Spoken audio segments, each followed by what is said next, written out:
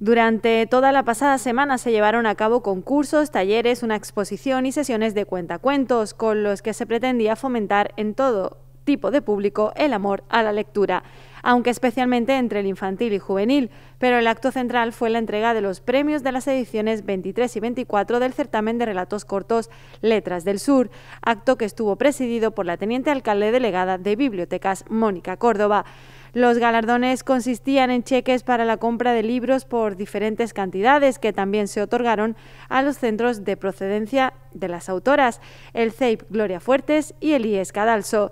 Como es tradición, algunas de las autoras leyeron sus relatos frente al público que acudió al salón de actos del edificio Diego Salinas. Se ha impreso un libro con los textos ganadores y finalistas de la edición del año pasado, mientras que los vencedores de 2021 se incluirán en el volumen del año próximo junto a los de la futura edición del 25 del certamen.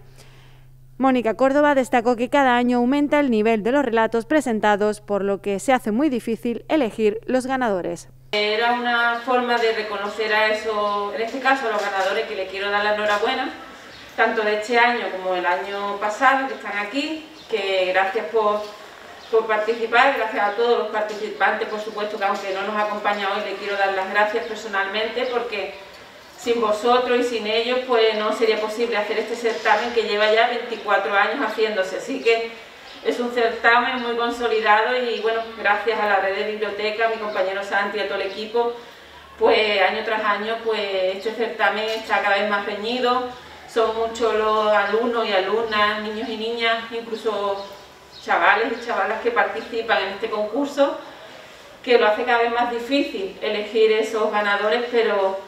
gracias, enhorabuena y espero que disfrutéis, que lo hemos querido enmarcar dentro de esta semana del libro,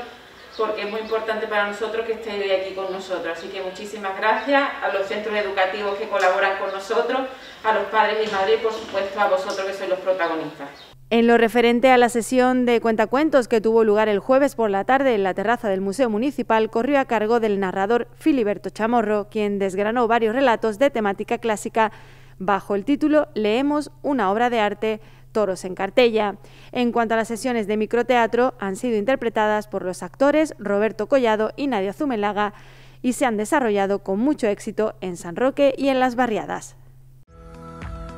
Multimedia te ofrece la nueva aplicación para móviles disponible en Google Play y en App Store.